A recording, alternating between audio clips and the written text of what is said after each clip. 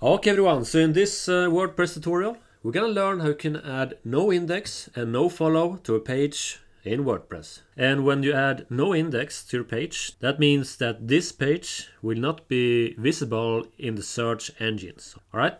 And also no follow, that means that uh, the links on this page uh, will not be followed by the search engines. Alright? So let's do this. So I have my WordPress site right here and all we need to do is just go to the back end of your WordPress site. Just go to the top left corner, click on dashboard. Now we're going to go down to plugins. Click on add new. Alright, so we want to install a plugin called Yoast.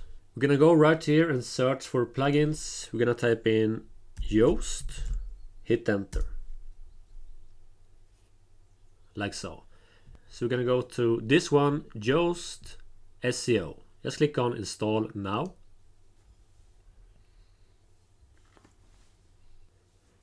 After you have installed it, we're going to go and click on activate.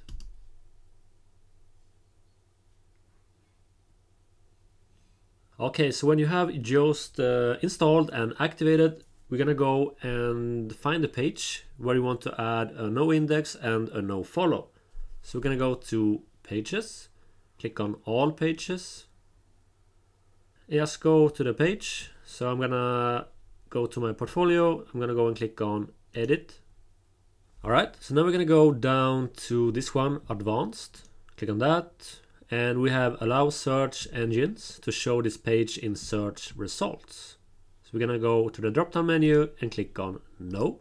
So this uh, sets a no index to this page. That means this page will not show up in search engines. And we also have this one, should search engines follow links on this page, all right? So that means should the search engines uh, follow this link to the other website that you're linking to and also giving them link power, all right? So we're gonna add no to this one. After that, we're gonna go to the top right corner, click on this one, update. If you find this uh, helpful, please subscribe. You can also comment below if you have any troubles. And also if you want to hire me for website development or marketing, you find contact information below. Have an awesome day, take care and bye.